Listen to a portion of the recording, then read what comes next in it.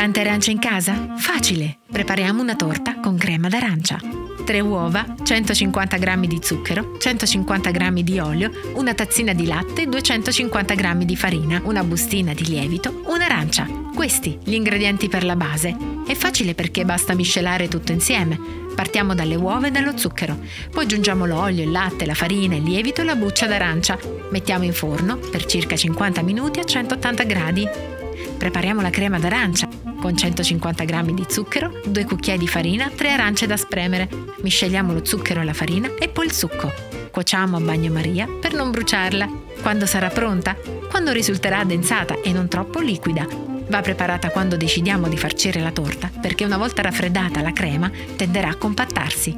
Conservata in frigo è uno sfizioso dessert da gustare insieme ad una tazza d'orzo.